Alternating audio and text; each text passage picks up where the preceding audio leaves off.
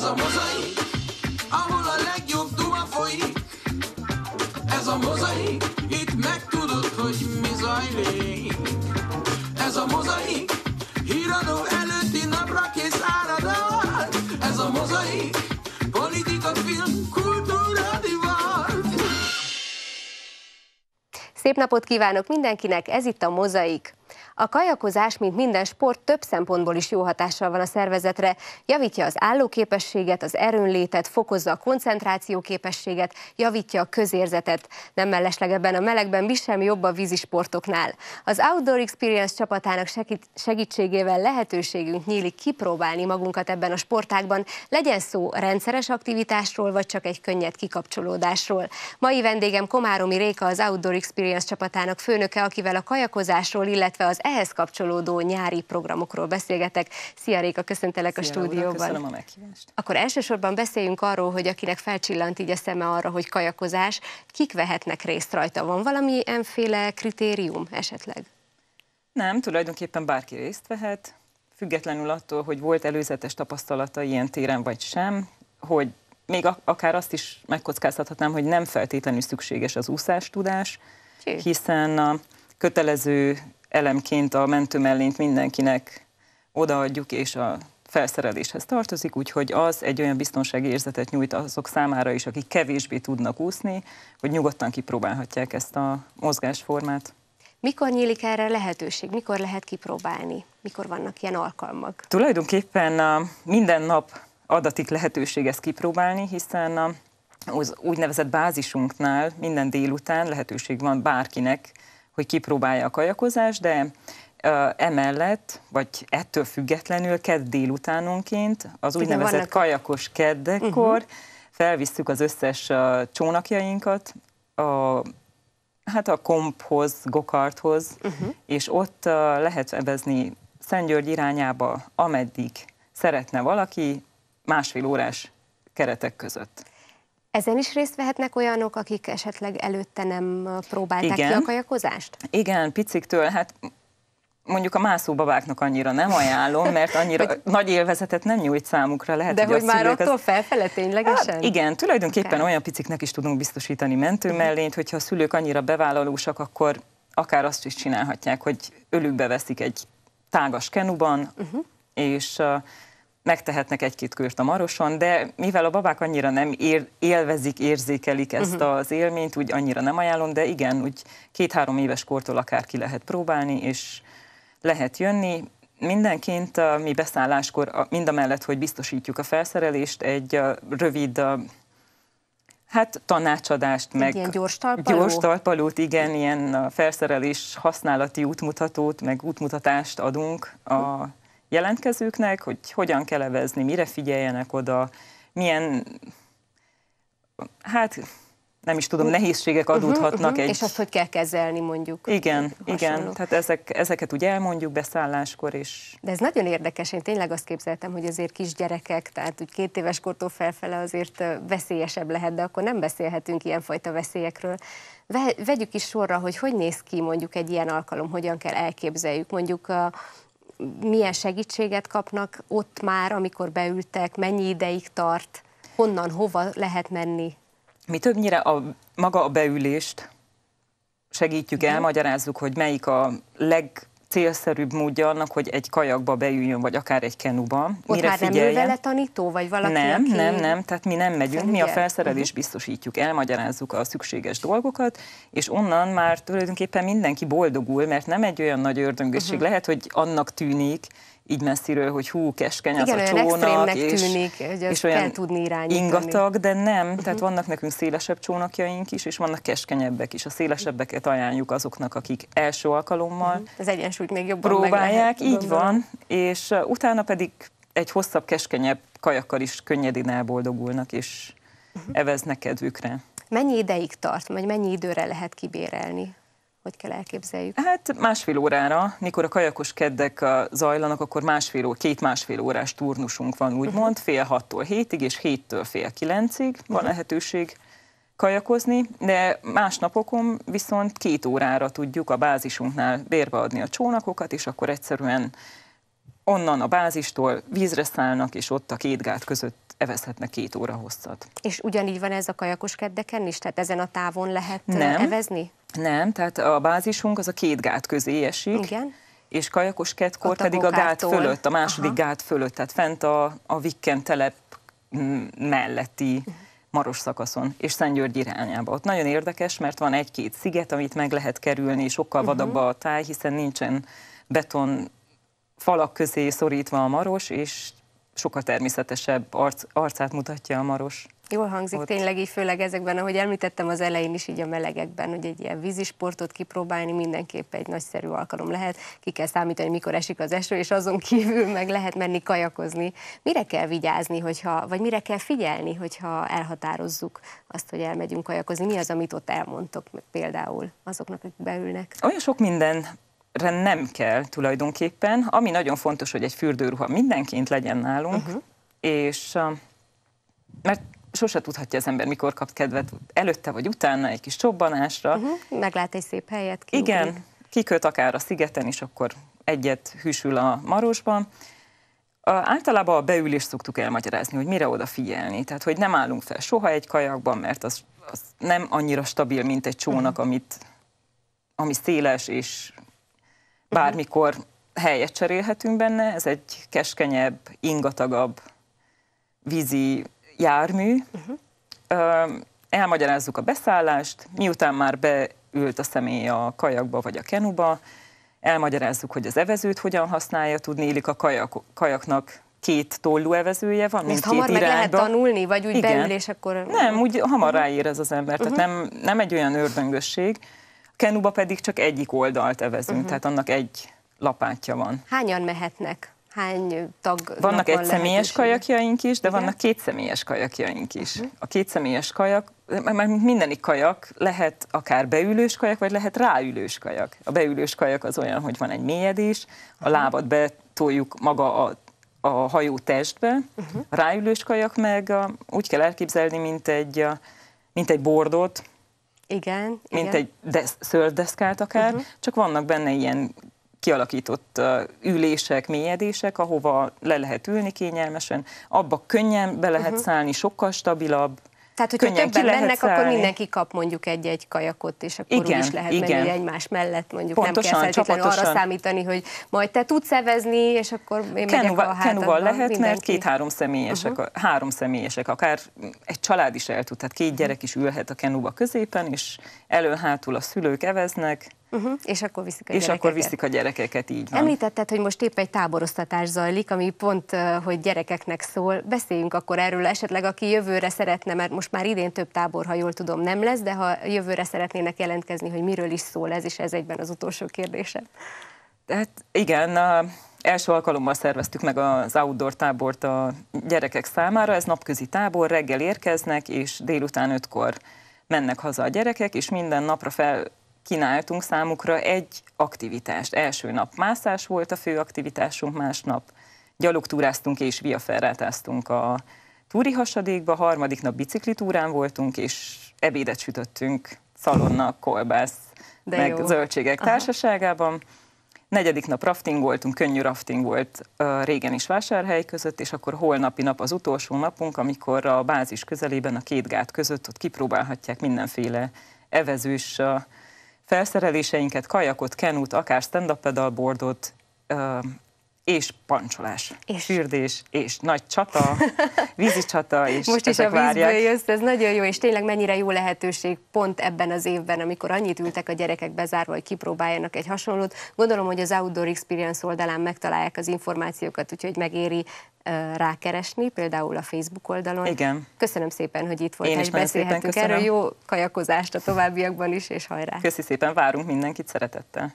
Köszönjük! A friss gyümölcs és zöldség fogyasztása egész év folyamán szükséges és egészséges, de legfőképpen mégis nyáron nyílik arra lehetőségünk, hogy akár a hazai gyümölcseinkből is többet fogyasszunk. Milyen hatással vannak a szervezetünkre a különböző gyümölcsök, hogyan segítenek egészségünk védelmében, betegségek elkerülésében? A pulzusból kiderül.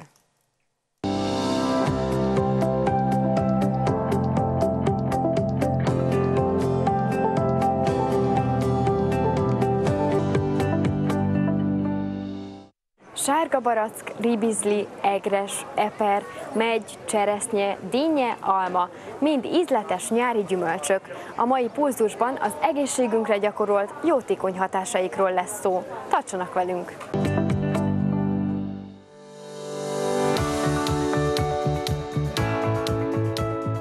Napi 400 g gyümölcs, majdnem fél kiló. Ez az ajánlott adag, amely hatékonyan hozzájárul egészségünk megőrzéséhez. Napi 800 g-nak viszont már betegség megelőző hatásait is élvezhetjük. A szénhidrát megvonásra alapuló fogyókúra esetén inkább a reggeli órákban, zsírszegény étrend esetén pedig a nap bármely szakaszában fogyasztható. Elsősorban friss, szezonális gyümölcsöket fogyasszunk, hisz tudományosan is igazolt, minél tovább tároljuk a gyümölcsöt, annál többet veszít vitamin, valamint rostartalmából. De nézzük is a leggyakoribb nyári szezonális gyümölcseinket. A sárga barack vagy kajszi barack A, B, illetve C vitaminban gazdag. Az A vitamin a beta-karotinnal együtt a szemegészségének a megőrzését segíti elő ásványi anyagokat, kálciumot, káliumot, foszfort egyaránt tartalmaz. Ezek mind a szervezetnek a folyadék háztartásában játszanak szerepet, valamint vérnyomás csökkentő hatásuk is van vizelethajtó hatás révén mellette pedig rostokban is bővelkedik a pektin, ugye, amely a székrekedés leküzdésében segít, illetve ként tartalmaz, ennek pedig a bőrre van jótékony hatása, mivel hogy annak sejmesé puhává varázsolásában segít. Magas C-vitamin tartalmának köszönhetően megfázásos betegségekben kiváló természetes gyógymód, vashiányos vészegénység esetén gyerekeknek és várandósoknak is ajánlott. A piros ribizlinek annak C-vitamin tartalma kiválóan magas, többek közt négyszerese a narancsban található C-vitaminhoz képest, ezért régebb a skorbut kezelésében is használták, emellett pedig gazdag B-vitaminnal is bővelkedik, többek között a B1, ami a sejtek, különösképpen az idegsejteknek a működésében elengedhetetlen, ezáltal a koncentráló képességet is növeli. A B2-es vitamin az a zsírsavak lebontásában játszik szerepet, méregtelenítésben, és a B6-os vitamin, amely a szívérrendszeri betegségeknek a megelőzésében szerepel, valamint az alvásban is, tehát a pihentető alvásban is jótékony hatást fejt ki. A cseresznye, mint a bogyós gyümölcsök többsége rendkívül gazdag antioxidánsokban és gyulladás csökkentő hatása is van. A cseresznye szárte a kimondottan ajánlott vizeletfertőzés esetén az alvás problémákkal küzdők esetén javasolt elalvás előtt pár cseresznye elfogyasztása, mivel serkenti a melatonin nevű hormonszekréciót, amely elősegíti a pihentető alvást. A szájhigiénia esetén a szájüregi betegségeknek, fertőzéseknek megelőzésében is kimondottan jótékony hatást fejt ki, valamint a rossz lehellet semlegesítésében. Rendkívül nagy mennyiségű antioxidánssal, a legfontosabb a quercitinnel rendelkezik, amely jó hatással van a magas vérnyomás megelőzésében, valamint a kettes típusú cukorbetegség kockázatát, megjelenési kockázatát csökkenti, illetve a regeneráló képessége, ami igen magas, maratonfutók használják előszeretettel az izomfájdalom, valamint az izomláz megelőzésére. A megyet krémek, illetve olajok készítéséhez is használják, mivel a sejtek öregedési folyamatát lassítja. meghűléses, lázzal járó gyulladásos betegségekben um, nyugtató, illetve hűsítő hatása van a belőle kinyert szörpnek az elfogyasztása, valamint rostokban sem szegénykedik, ami ugye az emésztőrendszerre fejti ki jól a hatását, illetve a belső elválasztású mirigyeknek a működését serkenti, ami fontos, hogy mértékkel kell fogyasztani, mivel nagyobb mennyiségben hasmenést okozhat rendkívül magas a víztartalma, illetve kálium tartalma.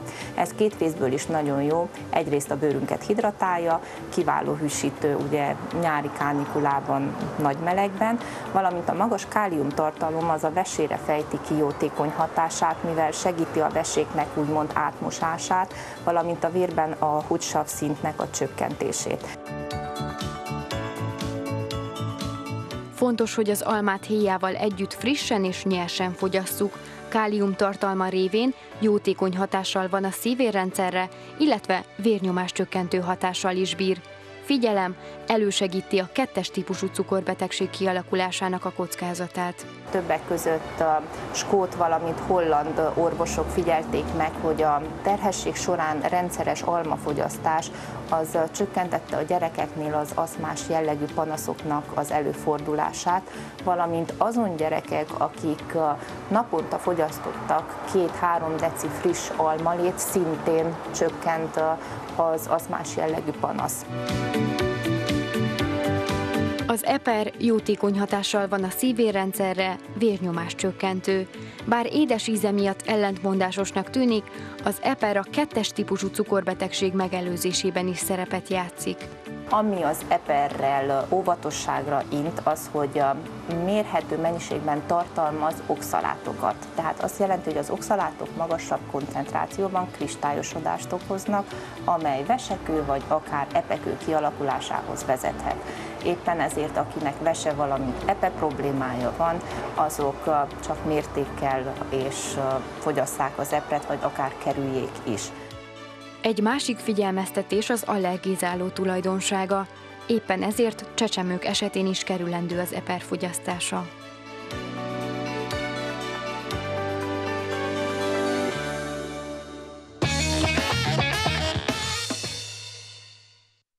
Amerikai énekes Erdélyben. Nem gyakran hangzik el ez a kijelentés.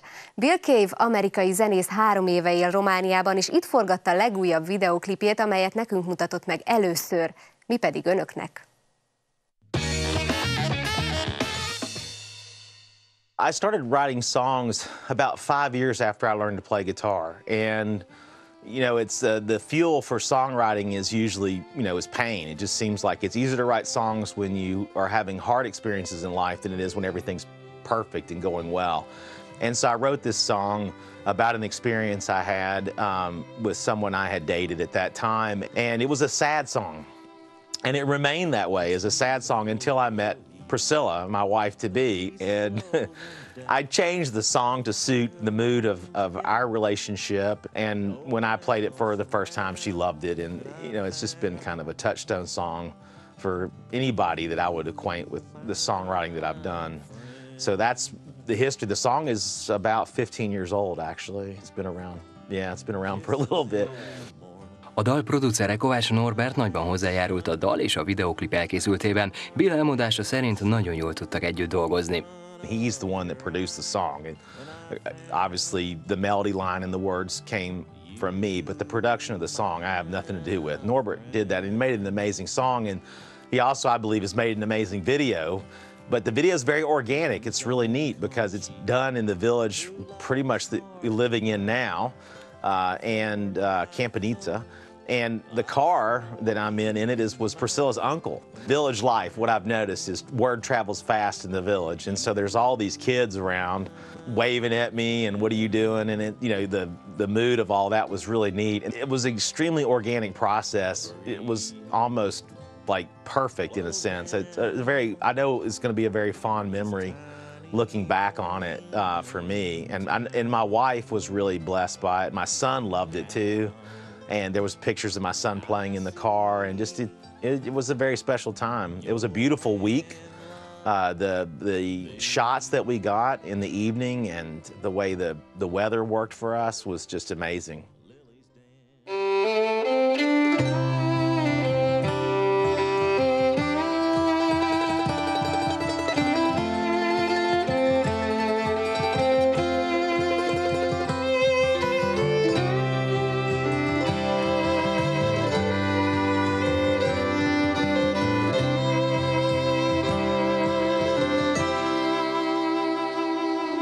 It's a beautiful evening. The breeze is blowing down. We're alone together, no one else around, and I found. You, my friend. Kisses in the morning, a bright sunrise, stars there shooting in front of your eyes, and I found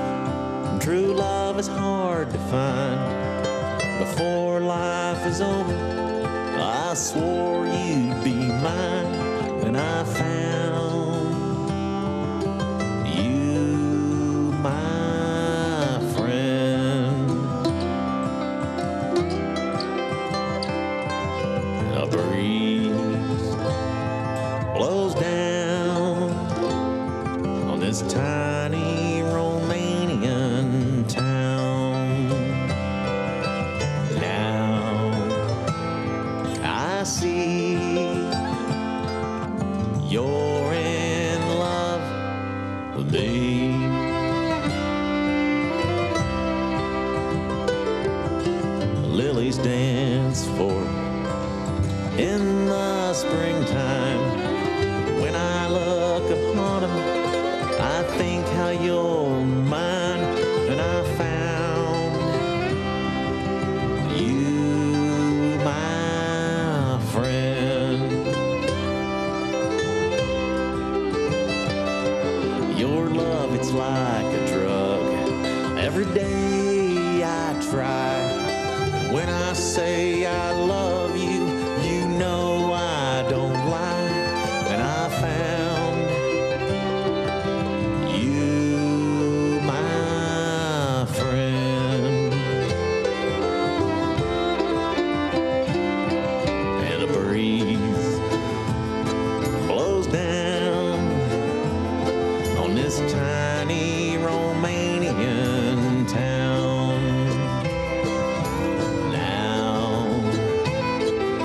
see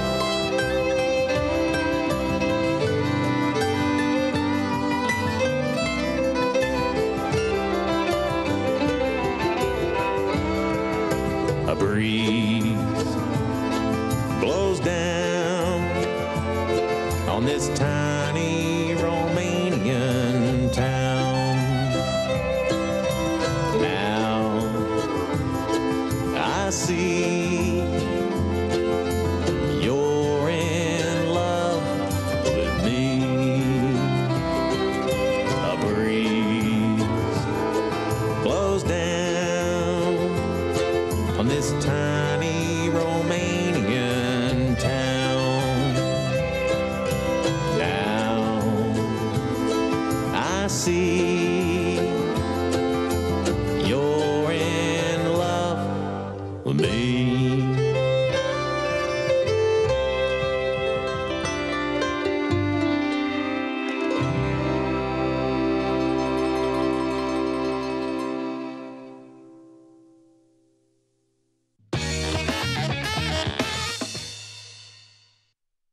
EB következik.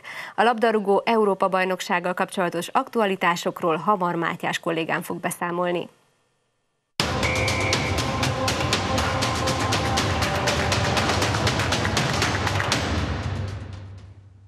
Focizik Európa, illetve most ismét megpihen egy kicsit, hogy a nyolc negyed döntős új erővel vethesse bele magát a pénteken és szombaton műsorra tűzött találkozókba.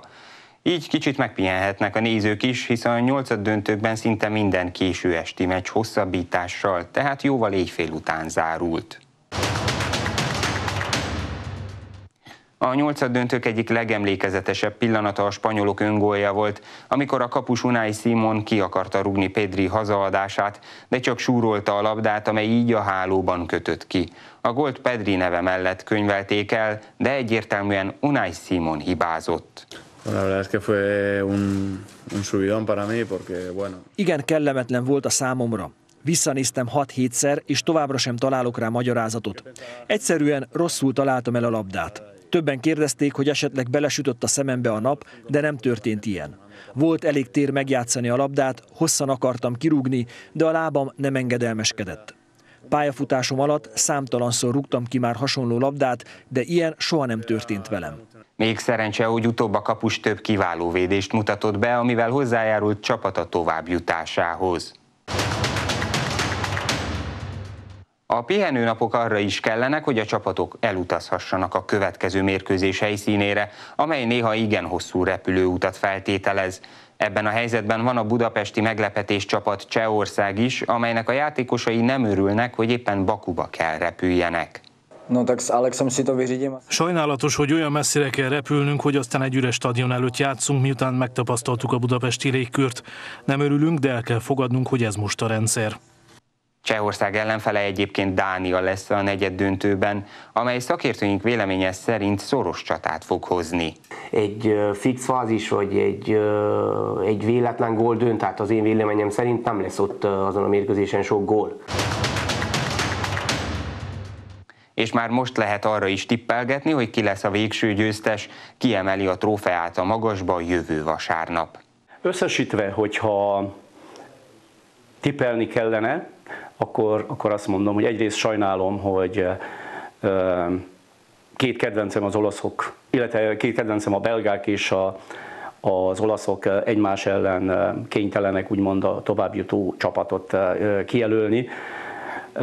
Ha talán Kevin De Bruyne ürügyén is, talán inkább egy kicsit a, a belgáknak szurkolók. A többiek pedig én azt hiszem, hogy olyan mérkőzéseken fognak eldőlni, amelyeken lehet eső, lehet sár, tehát igazából bárkit el tudok képzelni a továbbjutók közül.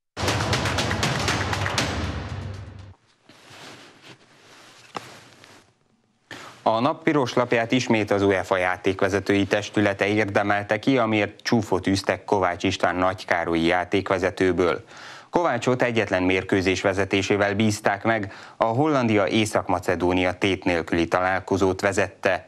Hiába volt kifogástalan, hazaküldték. Miközben olyan bírók, mint a brit Taylor vagy a török Csákír a számos hiba ellenére is már három meccset vezettek. És beléptünk a 21. századba a labdarúgó Európa-bajnokságok történeti visszapillantónk sorozatában. 2004-ben Portugália volt a házigazda, amelynek a csapatában már bemutatkozhatott 19 évesen az a Cristiano Ronaldo, aki azóta az ötödik EB-jét nyűvi és felállított néhány rekordot. A portugálok a hazai pályától várták első sikerüket, azonban nem számoltak Otto Rehagellel és az általa irányított görög válogatottal. A nyitó mérkőzésen a görögök meg is lepték egy nullával a házigazdákat, de akkor még senki nem gondolta, hogy ugyanez a két csapat jut be a döntőbe is. Remek alkalom a visszavágásra gondolhatták Ronaldóék, de ezúttal kétszer is bekövetkezett a budai kutyavásár. Görögország 2-1-re nyert és elhódította történelme egyetlen serlegét. Az 1992-es Dán siker után ez is a nagy meglepetések sorát gazdagítja, és csak azért soroljuk mögéje, mert a görögöket azért nem a strandról verbuválták össze. Az azonban tény, hogy az EB előtt egy a százhoz eséllyel lehetett fogadni a görög győzelemre a brit fogadóirodákban.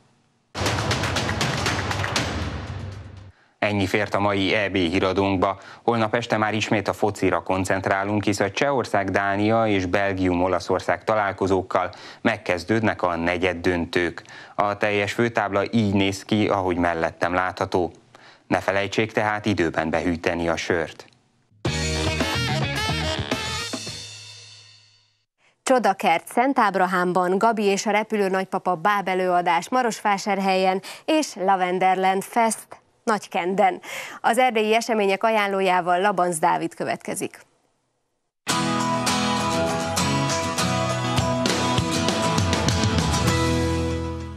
Jó napot kívánok minden nézőnek ma július havának első napján csütörtökön.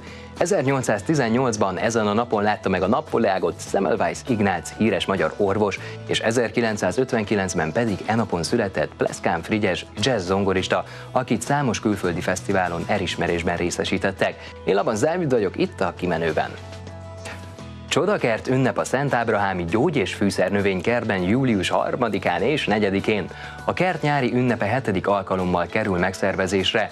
Tematikus előadásokat hallgathatnak gyógynövényekről, biogazdálkodásról, egészséges életmódról. Ugyanakkor gyerekfoglalkozások, helyi termelők vására, új termékek tesztelése, zenés rózsaszüret és kirándulás is lesz. Közösen ehetünk, ihatunk, énekelhetünk és táncolhatunk. Regisztrálni az esemény Facebook oldalán közzétett linken lehet. Az Áriás Színház július 3-án szombaton 18 órától mutatja be a Gabi és a Repülő Nagypapa című bábelőadást. Szereplők Halmágyi Éva, Puskás Győző, Szabó Dániel és Gönci Katalin. A bábelőadást Gimesi Dóra írta a színpadra. A helyek száma korlátozott, ezért arra kérik az érdeklődőket, hogy jelezzék előre részvételi szándékukat. A levendula virágzásával egy időben évente megszervezik a Lavenderland Fest nevű eseményt, amely nem csak a levenduráról szól, hiszen számos más programmal is készülnek, hogy szülő és gyerek egyaránt jól érezhesse magát. Lesznek gyerek és felnőtt koncertek, bábelőadások, sok-sok gyerekfoglalkozás, kézművesség és kézműves vásár. Az esti sörözéshez a hangulatot egy DJ szolgáltatja majd. Természetesen Szed Magad program is lesz. A Levendula Fesztivál július 4-én és 3-án lesz Nagykenden. Ennyi volt mára, tartsanak velem holnap is, én majd itt várom önöket. Addig is jó szórakozást, jó munkát vagy jó pihenést kívánok mindenkinek a viszontlátásra. 7 órától híradóval várja önöket Jakab Péter Emese. Szia Emese, milyen hírek lesznek ma a híradóban? Szervusz Laura! Megnyílt Kolozsváron az első olyan szociális kávézó, ahol fogyatékkal élők dolgoznak. Az öt alkalmazottból négy fogyatékos, sőt maga az ötletgazda is gyengén látó. A Kafils nevet viselő kávézóban az interakció, a beilleszkedésre hívják fel a figyelmet, ezzel hozzájárulva a fogyatékos emberek jólétéhez, elfogadásához. Mutatjuk a mai nap legfontosabb híreit, hétkor kezdünk, tartsanak velünk! Tavaszi ülésszak. Június utolsó napján véget ért a tavaszi parlamenti ülésszak, a nyári parlamenti szünet időszakára sürgősségi rendeletek kibocsátására hatalmazták fel a kormányt. Koronavírus. Mától lehet igényelni az európai utazást megkönnyítő Covid igazolványt.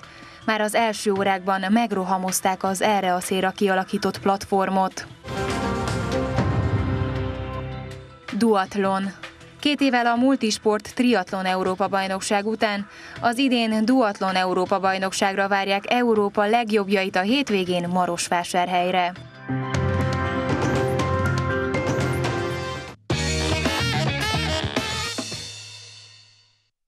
A híradó és Euronews után 8 órától 24 plusz aktuális közéleti műsorunkat láthatják Farkas Istvánnal. Ma többek között a medve kérdés került terítékre. A műsor meghívottai Táncos Barna környezetvédelmi miniszter és Pap Tamás a Milvus csoport elnöke. Én köszönöm figyelmüket, mára ez volt a mozaik. A holnapi műsor különleges lesz, hiszen a nyári pihenés előtt úgy gondoltuk kolléganőmmel, közösen várjuk majd önöket. Tartsanak velünk akkor is a viszontlátásra!